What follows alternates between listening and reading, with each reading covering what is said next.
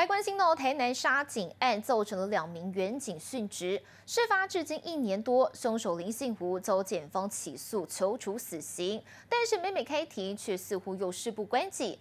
涂明成的姐姐听了，当场气得大喊要他闭嘴，因为根本无法接受林信吴称杀警不是故意的。和另外一名殉职员警的家属，唯一心愿就是希望法院赶快判他死刑。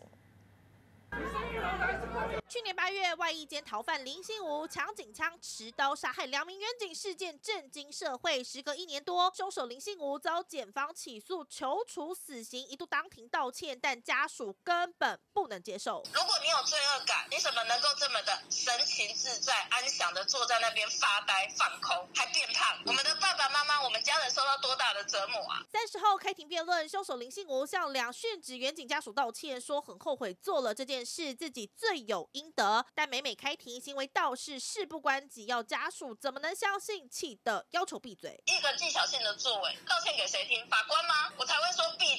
而据了解，检方主张林信武所犯的是两公约所说情节最重大的罪行，应该判死，才能够为两员警在天之灵以及抚平家属伤痛。不过林信武律师则辩护林信武犯行是有罪，应该受严厉惩罚，没错。不过并非有计划的预谋杀人，而是偶发性仓促杀人。四十岁前没前科，所犯非最重大之罪，有教化可能，不应判到死刑。一听讯指远警涂明成二姐当场开枪，司法代表的公理与正义，不应该沦为形式上的自我安慰。一度哽咽，因为每一次讲起都是心中的痛。地院十一月下旬将进行宣判，家属就盼最后司法能还公道。就黄富奇谈报道。